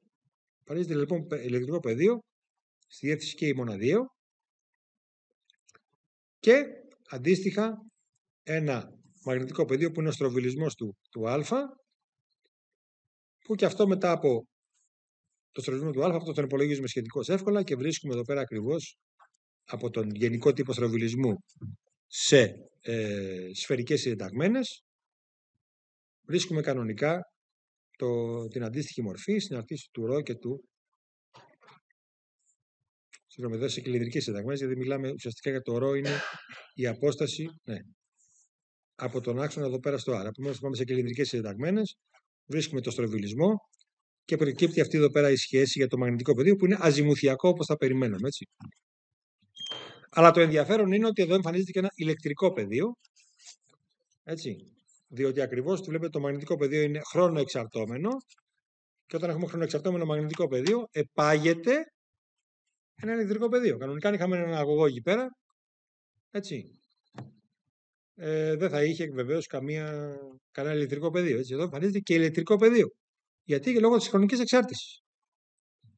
Προσοχή λοιπόν αυτά τα κομμάτια. Εκείνο που θέλω από εσάς να καταλάβετε είναι βεβαίως και οι πράξεις, αλλά κυρίως με ενδιαφέρει να καταλάβετε λίγο τη φυσική σημασία του τι ακριβώς έχει συμβεί εδώ πέρα. Έτσι. Λοιπόν, εδώ έχω κάποιες το ξεκίνημα των πράξεων έχω βάλει εδώ πέρα για να αποδείξουμε αυτή εδώ πέρα τη, τη σχέση, αλλά μπορείτε να το κάνετε και μόνοι σας και με τη μαθηματικά, αν θέλετε να το κάνετε αποδεκτό, αλλά πρέπει να γίνουν αυτές οι πράξεις.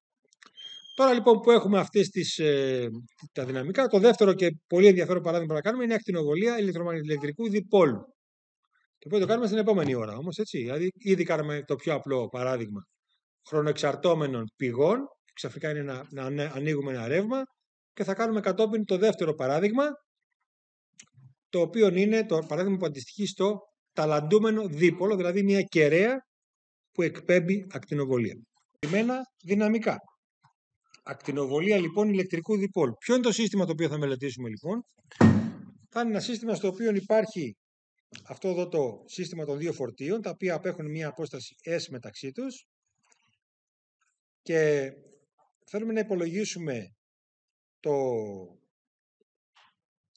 ηλεκτρικό και το μαγνητικό πεδίο σε ένα σημείο P που απέχει απόσταση R μεγάλη από το κέντρο του διπόλου, πολύ μεγαλύτερη από το S. Αυτό το R λοιπόν είναι πολύ μεγαλύτερο από το S, γι' αυτό λέγεται και δίπολο. Αυτό θα υποθέσουμε.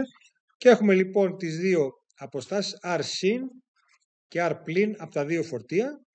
Αλλά εδώ η διαφορά σε σχέση με αυτά που είχαμε κάνει προηγουμένως είναι ότι τα φορτία αυτά δεν είναι σταθερά στο χρόνο, αλλά είναι χρονοεξαρτώμενα.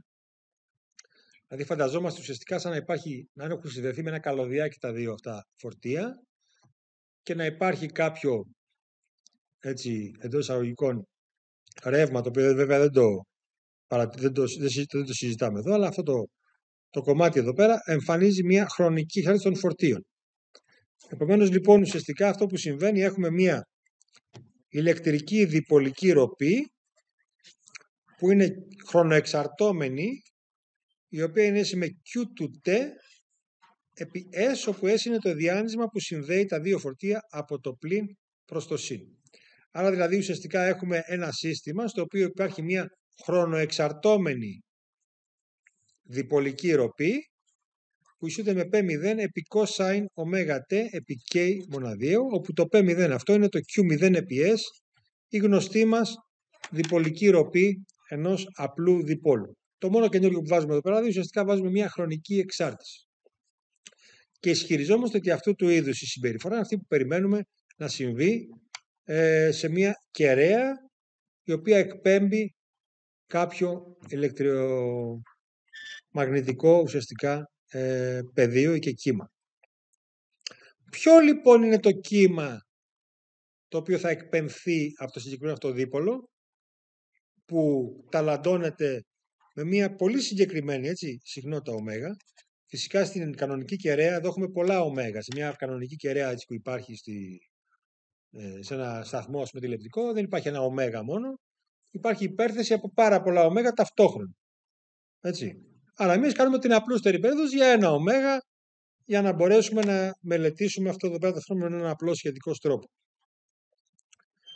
Επομένω λοιπόν το V, το διανυσματικό δυναμικό λοιπόν, θα είναι ίσον με, όπως έχουμε δει και προηγουμένως, στην απλή περίπτωση, πώς το βρίσκουμε το καθυστερημένο. Αντί να πάρουμε το κανονικό δυναμικό, θα πάρουμε το καθυστερημένο δυναμικό. Αυτό έχουμε πει. Η συνταγή είναι μία και ξεκάθαρη. Παίρνεις το δυναμικό που έχεις βρει κατά τη στατική περίπτωση, που το έχουμε ήδη πολύ εύκολα βρει βεβαίως, που είναι Q0 dr συν έτσι, και μείον Q0 dr πλην, το ακριβές δυναμικό πριν βάλουμε τη διπολική προσέγγιση μέσα. Και τι κάνεις, βάζεις τη χρονική προσέγγιση ακριβώς όπως είναι, αλλά μόνο που βάζεις όπου ταφ, το ταφ κάπα. Αυτή είναι η γενική συνταγή για να βρίσκουμε τα καθυστερημένα δυναμικά. Βάζεις το στατικό δυναμικό σου, βάζεις το χρόνο μέσα όπως ακριβώς μεταβάλλεται η πηγή, αλλά βάζεις όπου ταφ, έτσι στην πηγή σου μέσα, το ταφ κάπα. Αυτή τη συνταγή λοιπόν εδώ ακριβώς την εφαρμόζουμε εδώ πέρα και βγάζουμε ακριβώς εδώ πέρα το δυναμικό. Εντάξει. Και θα πει κανείς τελειώσαμε, εντάξει, βρήκαμε και το, το δυναμικό μας. Το... Και έτσι λοιπόν μπορούμε να προχωρήσουμε και να βρούμε και τα αντίστοιχα πεδία. Τώρα εδώ βεβαίως, για να μην μπλέξουμε πολύ με τις πράξεις, θα κάνουμε τη λεγόμενη και στις εκφράσεις που θα βγουν, θα κάνουμε τη διπολική προσέγγιση. Όπως κάναμε και το στατικό δίπολο. Θα υποθέσουμε δηλαδή ότι τα R πλην και R συν είναι πολύ μεγαλύτερα από το S και τα R πλην και R συν βέβαια στην ακριβή τους μορφή είναι αν θυμάστε R πλην συν S δεύτερα. Δηλαδή ουσιαστικά το R, αν αυτό εδώ πέρα είναι το R, έτσι, το R είναι αυτό εδώ πέρα, το R συν προκύπτει ως το, ε, που είναι αυτό το διάστημα αυτό εδώ πέρα, προκύπτει μείον S δεύτερα, διάνυσμα για να πάω από εδώ προς τα εδώ, πάω με ένα μείον S δεύτερα και μετά προσθέτω και το R για να με πάει στο P, συν το R.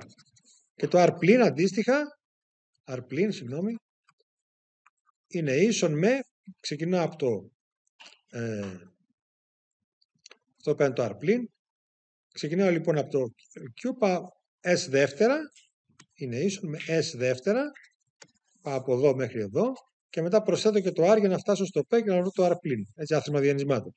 Συν R. Άρα λοιπόν το R συν πλήν είναι πλήν R πλήν συν S δεύτερα. Έτσι λοιπόν έχουμε εδώ πέρα το R συν πλήν είναι R πλήν συν S δεύτερα. Το R, επομένως λοιπόν εδώ μπορώ να πάρω το μέτρο του R συν πλήν ως τετράγωνο του πρώτου συν τετράγωνο του δευτέρου πλην συν το διπλάσιο γινόμενο του πρώτου επί τον δεύτερο που είναι δηλαδή πλην συν R μέτρο επί S μέτρο. Επί cos θ. Επειδή είναι εσωτερικό γινόμενο, έτσι. Και τώρα γράφουμε την, ε, βάζουμε την προσέγγιση στο παιχνίδι S πολύ μικρότερο του R. Βγάζουμε το άλλο δοκινό παράγοντα, αναπτύσσουμε τη ρίζα ακριβώς όπως είχαμε κάνει με το κανονικό μας δίπολο, έτσι, και ο κυρίαρχος όρος, αγνοούμε το S τετράγωνο εδώ πέρα φυσικά γιατί είναι δεύτερης τάξης, είναι το SDR επί cosine θ και υπάρχει και το ενδεύτερο εδώ πέρα από το ανάπτυγμα της ρίζας. Πάμε κατόπιν να βρούμε το 1 dr συν που θα πάει στη μείον ενδεύτερον εδώ πέρα το, το ριζικό.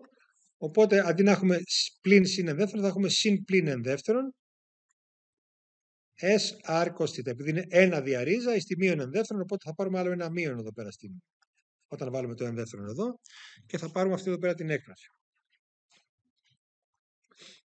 Πάμε λοιπόν τώρα αυτό να το κάνουμε αυτή εδώ πέρα την έκφραση που είναι η διπολική προσέγγιση, την κρατάμε και κρατάμε και αυτή εδώ την έκφραση και πάμε στο cosine ω ταφ καθυστερημένο, δηλαδή ταφ μείον r συν πλήν δια σε.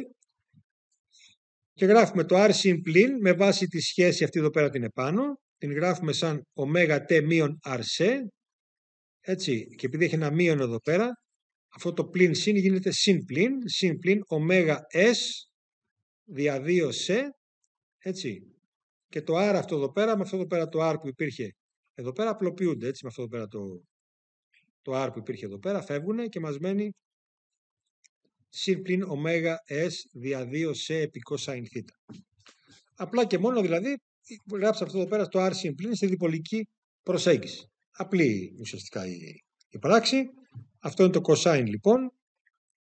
Και τώρα βλέπετε είναι, το cosine είναι ένα cosine αθρίσματος δύο γωνιών, α συν β. Από τριγωνομερική ταυτότητα το γράφουμε σαν cosine της μίας γωνίας επί cosine της δεύτερης γωνίας, δηλαδή του ωμέγα S δια 2 σέκος θ, πλην συν, εδώ έχει συν πλην, αλλά αυτό θα βάζουμε πλην συν, ζάιν της πρώτης γωνίας, ωμέγα δηλαδή ε, επί t μείον r δια σε, επί το ημίτονο πάλι της δεύτερης γωνίας του ωμέγα S δια 2 σε cosine θ. Αυτό απλώς είναι τα ταυτότητα τριγωνομετρική για να απλοποιήσουμε πιο περαιτέρω το δυναμικό μας.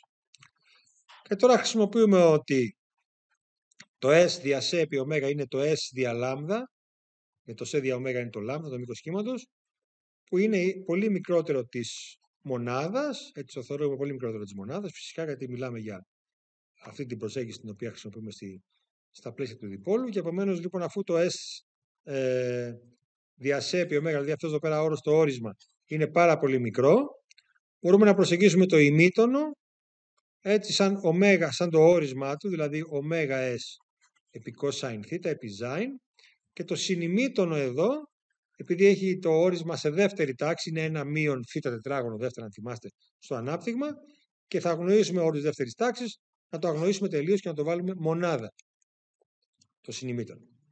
Επομένως λοιπόν εδώ έχουμε συνημήτωνο, αυτό εδώ πέρα επί τη μονάδα, το είναι μονάδα λοιπόν εδώ, ε, πλην συν, αυτό εδώ πέρα το πλην συν, το ημίτονο ωμέγα τ μείον αρσέ, επί το όρισμα του ημίτονου, για μικρό όρισμα, ε, ωμέγα s δια 2 σε επί cosine θ. Όπου εδώ υπάρχει προσέγγιση ότι το s δια λάμδα είναι πολύ μικρότερη μονάδας. Δηλαδή η απόσταση μεταξύ των δύο φορτίων είναι πολύ μικρότερη από το μήκος κύματος το οποίο ε, προκύπτει από αυτή εδώ πέρα την, ε, την ακτινοβολία της ακτινοβολής του διπόλου. Προφανώς συνδέεται με το S. Επομένως λοιπόν, αυτό λοιπόν το συνεχίζουμε, το γράφουμε λίγο πιο αναλυτικά και βλέπετε εδώ πέρα έχουμε το Q0, το βάζουμε λοιπόν τώρα αυτό το ανάπτυγμα μέσα στην έκφραση για το V0. Το Q0 αυτό βγαίνει εδώ απ' έξω. Το cosine το αντικαθιστούμε σύμφωνα με αυτή εδώ πέρα τη σχέση. Είναι cosine ωμέγα t μείον r δια σε επί που είναι ο κυρίαρχος όρος, ο άλλος όρος φυσικά δεν δίνει κάποια συνεισφορά ε, σε αυτό το κομμάτι.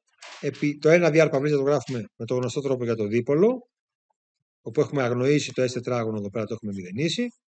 Επί 1 συν S δια 2R cosine θ, αυτό είναι ε, το κομμάτι με το ε, R συν, βλέπετε εδώ πέρα, αυτό το κομμάτι με το R συν, είναι ο πρώτος όρος, γι' αυτό και έχει εδώ πέρα το ένα συν, μείον το κομμάτι με το R πλήν που έχει εδώ πέρα ένα πλήν, βλέπετε εδώ πέρα λόγω του R πλήν, είναι το 1 δι R πλήν αυτό το κομμάτι, επί ε, και όλο αυτό, έτσι, όλο αυτό το κομμάτι εδώ, ε, ε μείον ωμέγα S δια 2 σε cosine θ sin ωμέγα t μείον R δια σε. Άρα αυτό το κομμάτι εδώ πέρα είναι το 1 δι R συν μείον 1 δι R πλήν. Εδώ έχουμε το cosine ωμέγα t επί αυτό μείον το αντίστοιχο όρο επί το, επί το αντίστοιχο κομμάτι με το, ε, με το ημίτονο, το cosine θ και έχουμε πλήσει εδώ πέρα το 1 διά r συν μείον το 1 διά r πλήν που υπάρχει εδώ. Λοιπόν, τώρα εδώ οι πράξεις μπλέκονται λιγάκι. Τις έχω πολύ αναλυτικά βέβαια εδώ τις πράξεις, έτσι. Όποιο θέλει να τις δει λιγάκι, ουσιαστικά έχουμε κάνει τη διπολική προσέγγιση μέσα σε αυτή την έκφραση. Έχουμε ε, και έχουμε αγνοήσει φυσικά τους όρους S τετράγων. Και τελικώς λοιπόν εδώ καταλήγουμε σε αυτή εδώ πέρα την έκφραση μετά από κάποιες απλοποίησεις. Q0 επί S κοστίτα δια 4 επί ε0 επί R και μέσα μένουν δύο όροι 1 δια R cosine ωμέγα T μείον R δια C μείον ωμέγα δια C sin ωμέγα T μείον R δια C και έχουμε βγάλει εδώ και απ' έξω το 1 dr όπως είναι εδώ κανονικά ως κοινό παράγοντα. Και βλέπετε ο ένας όρος εδώ μέσα έχει το 1 dr και ο άλλος όρος έχει το ω δια σε. Αν τώρα που είναι ουσιαστικά το 1 δια το μήκος κύματος, έτσι. που είναι το 1 δια λάμδα. Αν θεωρήσουμε τώρα το, ότι το 1, συγγνώμη, το λάμδα έχει το 1 δια λάμδα. Αν θεωρήσουμε τώρα το 1 δια όρος, έτσι, είναι ένας όρος που είναι πολύ μικρός στη διπολική προσέγγιση. Πάρουμε δηλαδή το R πολύ μεγαλύτερο του σε δια ωμέγα, οπότε ουσιαστικά μπορούμε να αγνοήσουμε αυτόν τον όρο στη διπολική προσέγγιση για πολύ μεγάλα R. Είναι σαν να λέμε το 1 δια R είναι πολύ μεγαλύτερο από το μέγα δια σε ή το 1 δια λάμδα ουσιαστικά. Ε, και έτσι λοιπόν ουσιαστικά αγνοούμε αυτό εδώ πέρα τον όρο με το 1 δια R και μας μένει μόνο αυτός εδώ ο όρος το μέγα διασέ και παίρνουμε λοιπόν τελικά ότι το β του r, θ, είναι μείον p0 επί ω δια 4 πι ε0 σε cos θ δια r. Προσοχή εδώ πέρα. Υπάρχει λοιπόν εδώ, βλέπετε το cos θ, το σημαντικός όρος, δια r. Έτσι. Γιατί το 1 δια r το αγνώσουμε εδώ πέρα, αυτός ο όρος εδώ πέρα φυσικά παραμένει και υπάρχει το 1 δια εδώ απ' έξω ε, dr επί το ημίτονο ωμέγα t μείον r δια σε. Βλέπετε εδώ πέρα αυτό το ημίτονο είναι που συνοδεύει αυτόν εδώ πέρα τον όρο. Έτσι.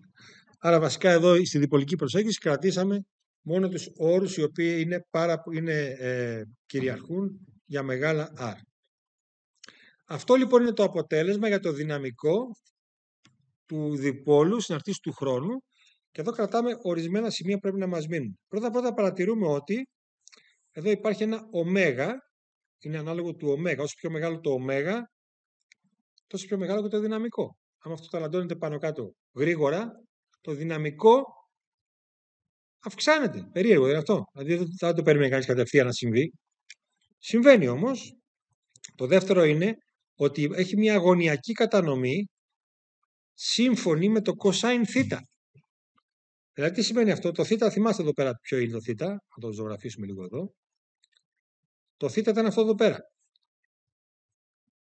Έτσι. Όταν λοιπόν το θ γίνεται π δεύτερα, το δυναμικό μηδενίζεται. Όχι όμως και η παράγωγος του δυναμικού. Προσοχή, το ηλεκτρικό πεδίο προκύπτει την παράγωγο του δυναμικού. Έτσι. Άρα λοιπόν το ότι μηδενίζεται το δυναμικό στη γωνία θ δεν σημαίνει ότι και το ηλεκτρικό πεδίο μηδενίζεται στο θ στον π δεύτερα. Άρα λοιπόν εδώ ας πούμε το δυναμικό θα ήταν 0. Βέισο με το 0. Γιατί βλέπετε είναι cos θ έχει μέσα. Αλλά η παράγωγος του όμως είναι μέγιστη εκεί. Δεν είναι, προσοχή δεν σημαίνει ότι το ηλεκτρικό πεδίο είναι 0. Πηγαίνει φυσικά ένα διάρ, όπως περιμέναμε στην διπολική προσέγγιση. Γιατί έχουμε αγνοήσει όρους της μορφής ένα διάρ τετράγωνος, συν ας πούμε order, εδώ έχει συν order ένα διάρ τετράγωνο, έτσι, το οποίο τους έχουμε αγνοήσει αυτούς τους όρους. Ε, άλλο που παρατηρούμε πηγαίνει η μητονοειδός, η μήτωνο ωμέγα t μείον r δια σε.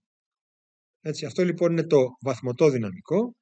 Αντίστοιχα, μπορούμε να βρούμε τώρα και το ρεύμα γιώτα του τ, δηλαδή είπαμε έχουμε συνδέσει αυτά τα δύο με ένα, είναι σαν να τα έχουμε συνδέσει με ένα καλωδιάκι και υπάρχει εκεί ένα ρεύμα, καθώς το δίπολο ταλαντώνεται, το οποίο είναι ίσο με dq προς dt επί k. Πρέπει λοιπόν να βρούμε και από το J ουσιαστικά τι είδους συνεισφορά έχουμε στο διανυσματικό πεδίο. Γιατί βλέπετε το ηλεκτρικό πεδίο και το μαγνητικό πεδίο και από το Α και από το Β. Πάμε λοιπόν να βρούμε τώρα αντίστοιχα και το διανυσματικό δυναμικό που είναι ίσον με Q μείον Q0 επί ω επί μήτων ω t επί K απλά και μόνο έχουμε παραγωγή ουσιαστικά εδώ πέρα το Q του τάφ έτσι. Λοιπόν, ε, Αντικαθιστούμε λοιπόν στη σχέση που είχαμε βγάλει, αν θυμάστε, για το καθυστερημένο δυναμικό, που ήταν μη 0 επί J του αρτόνος, κόμμα ταφ κάπα διάρπα πλήτσα επί ταφ. Και ολοκληρώνουμε λοιπόν εδώ, σε εκείνο το κομματάκι εδώ που είναι μεταξύ των δύο αυτών φορτίων, από μείον S δεύτερα μέχρι S δεύτερα, γιώτα του ταφ κάπα, ε, διάρπα πλήτσα DZ. Και βεβαίως βάζουμε εδώ πέρα όπου ταφ κάπα το ταφ μείον r παυλίτσα δια σε μείον q0 ωμέγα ζάιν ταφ 0 μείον r παυλίτσα δια σε και η μοναδίο δια r παυλίτσα dz τετράγωνο. Αυτή είναι η απλή εφαρμογή του τύπου. Ουσιαστικά αυτό που πάρουμε το πάμε σε dα επί dz. Έτσι, το dα με το j θα μας δώσει το ι, ό,τι κάναμε και προηγουμένως. Και επομένως λοιπόν έχουμε αυτή εδώ πέρα την, ε, την έκφραση για το διασματικό δυναμικό, την οποία καλούμαστε να υπολογίσουμε. Τώρα για πολύ μεγάλες αποστάσεις μπορούμε να προσεγγίσουμε αυτό το ολοκλήρωμα θέτοντας όπου r παυλίτσα το r. Δηλαδή αυτό το, το r είναι αυτό εδώ πέρα που ουσιαστικά είναι το ίδιο κατά προσέγγιση με το r παυλίτσα εδώ πέρα το οποίο έχουμε από διάφορα σημεία του, του ρεύματος εδώ πέρα το οποίο έχουμε. Και με αυτή την προσέγγιση βεβαίως το R παυλίτσα βγαίνει έξω ως R. Το ω, βλέπετε εμφανίζεται πάλι εδώ πέρα. Και έχουμε ημίτονο ω t μείον R δια σε επί κάπα μοναδίο. Και ε, επιπλέον έχουμε και το ολοκλήρωμα dz τόνος. Έτσι. Το οποίο πηγαίνει από μείον S δεύτερα μέχρι S δεύτερα. και το οποίο αυτό εμφανίζεται μέσα εδώ πέρα στη διπολική ροπή P0 που είναι ένα S και το γράφουμε σαν Q0 επί S. Έτσι το Q0 επί S που κανονικά υπάρχει από εδώ μέσα το βάζουμε σαν Q0 επί S από το ολοκλήρωμα από μείον S δεύτερα μέχρι 4 παίρνουμε ένα S. Και υπάρχει βέβαια και το μείον πρόσημο το οποίο έχουμε εδώ πέρα. Τώρα λοιπόν πρέπει να εκφράσουμε αυτό το K σε σφαιρικές συντεταγμένες, το K μοναδιαίο, και το γράφουμε σαν cos θ επί r μοναδιαίο μείον sin θ επί θ μοναδιαίο. Και αυτό βγαίνει με αυτό το σχήμα εδώ πέρα που βλέπετε. Αυτό είναι το z μοναδιαίο εδώ πάνω. Και αυτό είναι το r μοναδιαίο και αυτό είναι το ε, αντίστοιχα το θ μοναδιαίο που είναι κάθετο στο r μοναδιαίο. Βλέπετε εδώ πέρα έχουμε μια αγωνία του r μοναδιαίου σε αυτή εδώ πέρα τη διεύθυνση. Άρα λοιπόν είναι το k μοναδιαίο είναι cos θ επί r μοναδιαίο συν θ μονα 2 επί τη συμπληρωματική του θ, που, που ουσιαστικά είναι μάλλον μείον, γιατί βλέπετε το, το πάει προς τα κάτω, έχει ένα μείον, θ μονα 2 επί κος του συμπληρωματικού του θ, που είναι ουσιαστικά το ίδιο με το ημίτονο θ, μείον λοιπόν ημίτονο θ επί θ μονα 2, αυτό λοιπόν είναι το k μονα 2, και επομένως έχουμε k μονα 2 σαν r μονα 2 επί cos θ, μείον θ μονα 2 επί ζάνη θ. Εδώ είναι ουσιαστικά ένα σχήμα που δικαιολογεί αυτόν τον τύπο, έτσι, που γράψω εγώ εδώ πάνω. Δηλαδή φτιάχνουμε ουσιαστικά το k μονα 2 από το r μονα 2 και το θ μονα 2 από τις σφαιρικές μας συντεταγμένε. Είναι κατανοητά αυτά πλέον. Είναι ουσιαστικά το θ μονα 2 είναι κάθετος στο r. Θυμάστε εδώ πέρα σφαιρικές συντεταγμένε. Έτσι το r μονα 2 είναι προς τα δω. Πάρω εδώ ένα σημείο. Το r μονα 2 είναι προς τα δω. Το θ μονα 2 είναι κάθετος στο r μονα 2. Έτσι, αλλά είναι, άμα, το, άμα τα βάλουμε κοινή αρχή είναι κάπως έτσι. Και ισχύει αυτή εδώ, η θ είναι αυτή εδώ η γωνία που σχηματίζεται με τον άξονα των z στις σφαιρικές συνταγμένες. Έτσι, και ούτω καθεξής. Λοιπόν, αυτή είναι η σχέση λοιπόν του κ 2 εδώ. Και τώρα αφού βρήκαμε λοιπόν και το διανυσματικό δυναμικό και το βαθμωτό δυναμικό, μπορούμε να πάμε να βρούμε τα πεδία.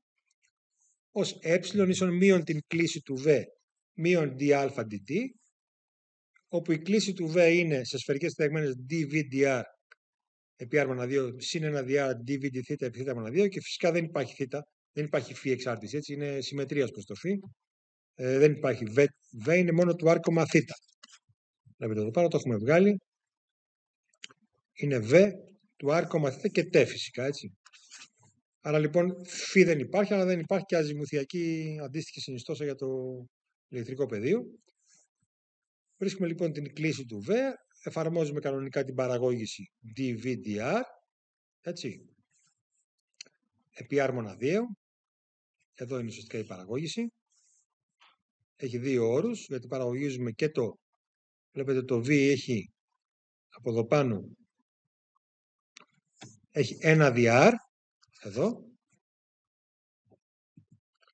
που πρέπει να το παραγωγήσουμε και έχει κι άλλο ένα R εδώ μέσα στο ημίτονο. Άρα θα έχουμε δύο όρους στην παράγωγο. Έτσι. Και παραγωγίζουμε λοιπόν εδώ στην παραγωγή σας προς R το dVdr.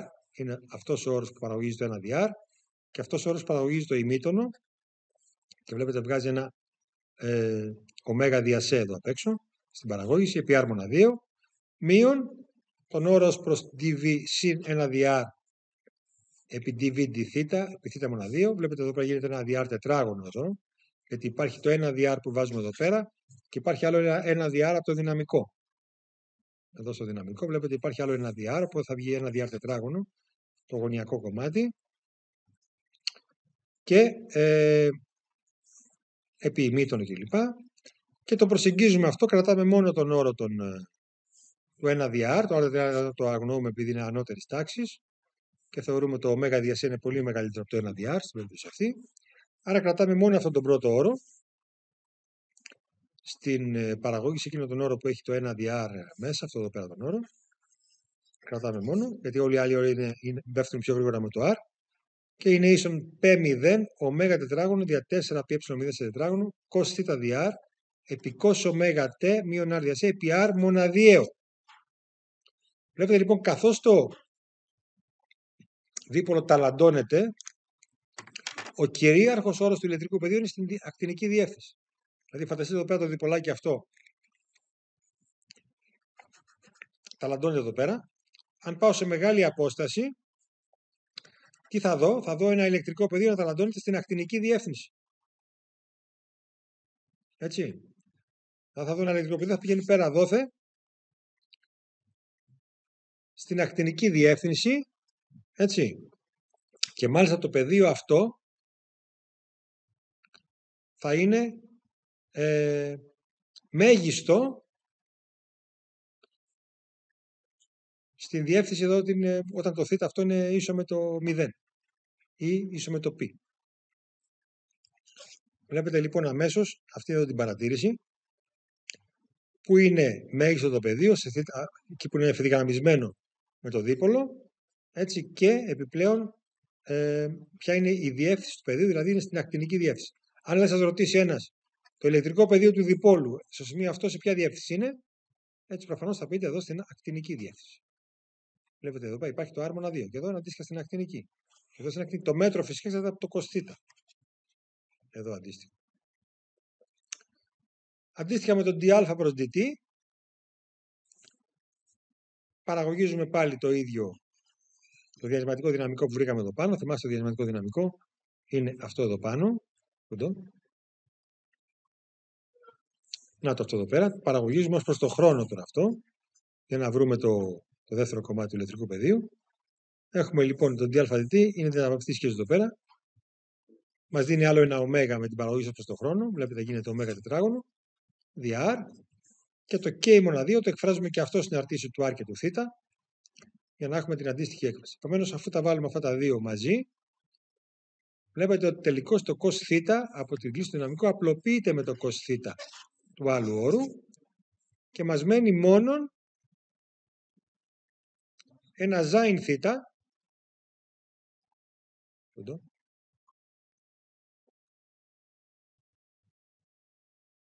ένα sin θ που προκύπτει από αυτό εδώ πέρα τον όρο. Βλέπετε εδώ αυτό έχει το θ μονα 2 και από εκεί που νομίζαμε ότι είναι ακτινικό το ηλεκτρικό πεδίο, ο ακτινικός όρος φεύγει και μας μένει μόνο ένας όρος στη διεύθυνση θ.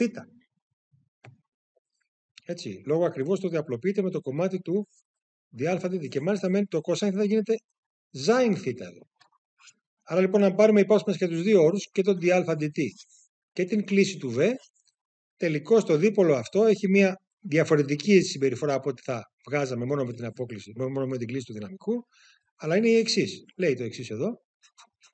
Καθώς ταλαντώνεται λοιπόν αυτό το δίπολο, αν πας εσύ σε μια γωνία θ,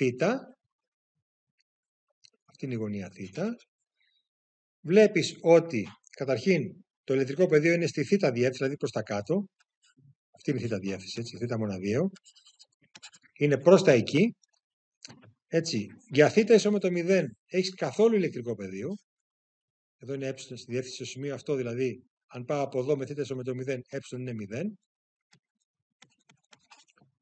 Έτσι, στη μεγιστοποιεί το ηλεκτρικό πεδίο όταν το θ είναι επί δεύτερα, δηλαδή αν πάω εδώ και τραβήξω μία κάθετο, εδώ είναι μέγιστο το ηλεκτρικό πεδίο, στην κάθετη διεύθυνση και δείχνει προς τα κάτω.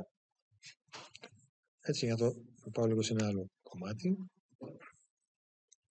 Θα δείξω λίγο πιο καλά εδώ, γιατί δεν γράφει καλά στη εδώ. Έχω λοιπόν ένα δίπολο που ταλαντώνεται εδώ. Εντάξει. Αυτή εδώ είναι η γωνία θ.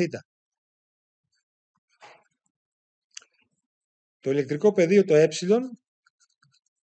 είναι ανάλογο του sin θ δια r επί θ μονα 2 και επί ω τετράγωνο. Αυτή είναι η όρη που με ενδιαφέρει και έχει και κάτι άλλους όρους. Τι μου λέει καταρχήν εδώ πέρα; Ε μου λέει ότι όσο μεγαλύτερο το ω, τόσο μεγαλύτερο το ηλεκτρικό πεδίο. Πρώτη παρατήρηση. Θες μεγάλο, βάζεις μεγάλο ω, έχεις μεγάλο ηλεκτρικό πεδίο σε μεγάλη απόσταση στο σημείο P. Και μιλάμε για το σημείο P εδώ πέρα, το ηλεκτρικό πεδίο, έτσι. Δεύτερον, θες να έχεις μεγάλο ηλεκτρικό πεδίο, πρέπει το θ σου να είναι επί δεύτερα. Δηλαδή εδώ στο σημείο αυτό το ηλεκτρικό πεδίο είναι μέγιστο. Και εδώ στο σημείο αυτό, στην ίδια απόσταση R, έτσι, το ε σου είναι 0. Εδώ είναι το πι δεύτερα φυσικά, έτσι, γιατί θ ίσον πι δεύτερα. Μετά μου λέει, θες να βρεις τη διεύθυνση του ηλεκτρικού σου πεδίου, είναι στο θ μονα 2. Δηλαδή κάθετος στο R μονα 2, δηλαδή προς τα δω. Το ηλεκτρικό πεδίο σου λοιπόν είναι στη θ μονα 2, διεύθυνση δηλαδή προς τα κάτω. Αν πας εσύ εκεί και βρεις το μεγαλύτερο ηλεκτρικό σου πεδίο, θα είναι αφενός μεν στη θ μοναδιαίο, αφετέρου ανάλογο του ω τετράγωνο, έτσι. Και επιπλέον θα είναι 0 αν πάρεις το θ με το 0. Δηλαδή, άμα, βρεις το, άμα ρωτήσω εδώ πέρα εγώ, ποιο είναι το ηλεκτρικό πεδίο εδώ κάτω, μεγάλη απόσταση, ε ίσο με το 0. Ή εδώ πάνω, που είναι μέγιστο όταν θ επί δεύτερη. Αυτή είναι δηλαδή η φυσική το φυσικό αποτέλεσμα που βγάλαμε για το ηλεκτρικό πεδίο που εκπέμπεται από ένα δίπλο. Φυσικά όλα αυτά τα ηλεκτρικά πεδία ταλαντώνονται. Έτσι είναι, αυτό είναι ανάλογο του cosine ωμέγα επί t μείον σε προς r. Ταλαντώνονται με το χρόνο αυτά τα πεδία, δηλαδή δεν είναι σταθερά. έχουμε λιλαπά πεδία που έχουν αυτές τις ιδιότητες. Ταλάντωση, ανάλογο το ω τετράγωνο, στη θ μοναδίο διεύθυνση και όταν το θ είναι επί δεύτερο είναι μέγιστο και θ στο 0 είναι 0. Αυτά θα μπουν στα quiz. Δεν μπορείτε να σας πω, αποδείξτε μου τον τύπο και κάντε την τρίτη παραγωγήση. Όχι που δεν τα ξέρετε και αυτά, αλλά θα τα ρωτήσω. Αλλά το τι ακριβώς σημαίνει φυσικά θα τα ρωτήσω. Θα σου πω για παράδειγμα, πού είναι μεγαλύτερο το θ, στο θ ίσον με το π τρίτα ή π τέταρτα. Έτσι, πρέπει να ξέρει αμέσως εδώ πέρα το, τη σχέση και τι σημαίνει.